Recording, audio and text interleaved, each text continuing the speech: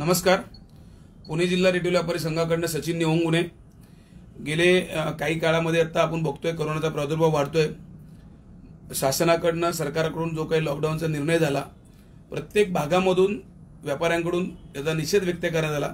राज्यातील प्रत्येक जिल्ह्यातून तालुका वाईज त्याचा निषेध व्यक्त करून व्यापारी आता रसातळा चाललेला आहे. आत्ताची परिस्थिती व्यापाऱ्यांची अतिशय अवघड आहे आपल्याला सर्व गोष्टी कळतात. प्रत्येक ठिकाणावरनं आता व्यापाऱ्यांचे जे फोन चालू आहेत किंवा प्रत्येक ठिकाणी ज्या मिटिंग चालू आहेत प्रत्येक ठिकाणी वेगवेगळ्या पद्धतीने त्याचा निषेध व्यक्त केला जातोय. रोष व्यक्त होतोय.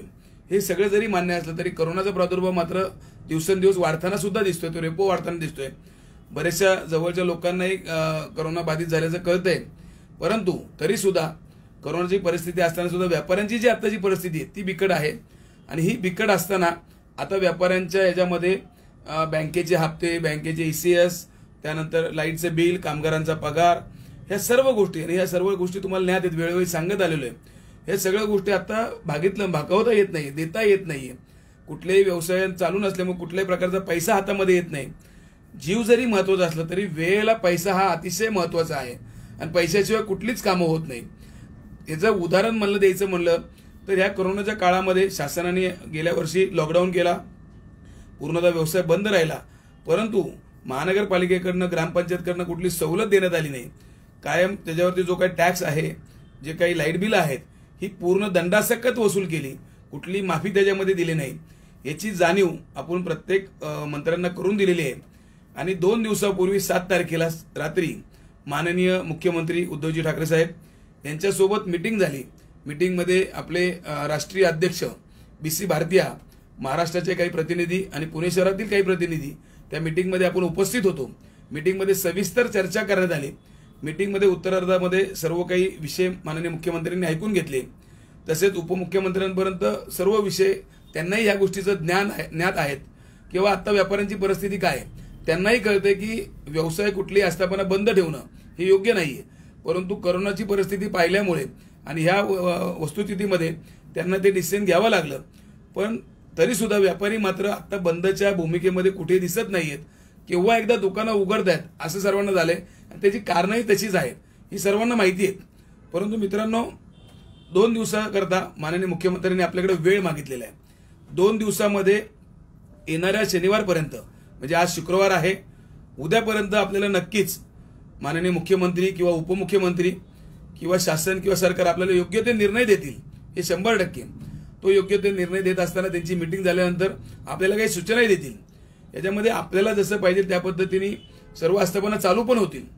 आणि जे काही निर्णय शासनाकडनं आपल्याला मिळतील त्याचं तंतोतंत पालनही आपण करायचे. व्यवसाय तर चालू करायचेत परंतु व्यवसाय चालू करत असताना जे काही ॲक्युमेंट्स आहेत हँग्लोज असतील मास्क असेल सॅनिटायझर असेल याचा सुद्धा उपयोग आपण सर्वांनी व्यवस्थितपणे करायचा आहे. आणि जो निर्णय आल्यानंतर राष्ट्रीय अध्यक्ष बी सी भारतीया प्रत्येक राज्यातील जिल्ह्याचे प्रतिनिधी आणि पुणे शहरातील प्रतिनिधी प्रत्येक शहरवाईज जे काही आपले प्रतिनिधी असतील यांची सविस्तर त्या गोष्टीवरती चर्चा होईल.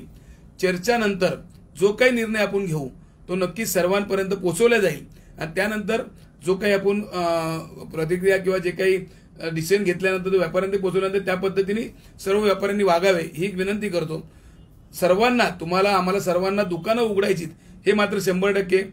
जर आस्थापना आपण उघडल्या तरच आपण आपली उपजीविका आपल्या कामगारांची उपजीविका आणि लोकांची सेवा करू शकतो अन्यथा करू शकत नाही परंतु मित्रांनो पुणे शहरामध्ये माननीय आयुक्त विक्रम कुमारजी यांनी जो काही निर्णय दिलेला आहे दोन दिवस लॉकडाऊन आज संध्याकाळी शुक्रवारी संध्याकाळी सहा वाजल्यापासून ते सोमवारी सकाळी सात वाजेपर्यंत कडकडीत बंद असं सांगितलेलं आहे. त्याच्यामध्ये अत्यावश्यक सेवा सुद्धा चालू नये म्हणजे कुठली सेवा चालू आहे? मेडिकल. त्यामुळे कोणी आपल्या आस्थापना उघडायची घाई करू नये. नियम पाळावे दोन दिवस व्यवस्थित जो काही निर्णय दिलेला आहे त्याचं पालन करावं. शासनाला सरकारला मदत करावी. आणि संघटना नक्की तुमच्या पाठीशी कुठलाही अडचण तुम्हाला आली कुठली समस्या तुम्हाला आली तर नक्की तुम्ही डायरेक्ट थेट माझ्याशी संपर्क साधू शकता. तुम्हाला जे काही योग्य माहिती आहे शासनाकडून आलेली लेटेस्ट जे काही त्यांचं पत्र असेल जो काही अध्यादेश असेल त्याचं सुद्धा नक्की तुमच्यापर्यंत पोहोचवलं जाईल. पण ओघाच्या भरामध्ये चुकीची भूमिका कुठली घेऊ नका. कुठलेही वक्तव्य कुणाबद्दल बोलू नका. जे काही असेल ते व्यवस्थितपणे आपल्या समस्या मांडा आणि तुमच्या समस्या संघटनेच्या अंतर्गत माननीय शासन दरबारी आणि सरकार दरबारी आपण वेळोवेळी त्या पोचवलेल्या आहेत. त्याचं नक्कीच ते दखल घेतील आणि योग्य ते निर्णय आपल्याला देतील. सचिन निवंगुने पुणे जिल्हा रेडिओ व्यापारी संघ.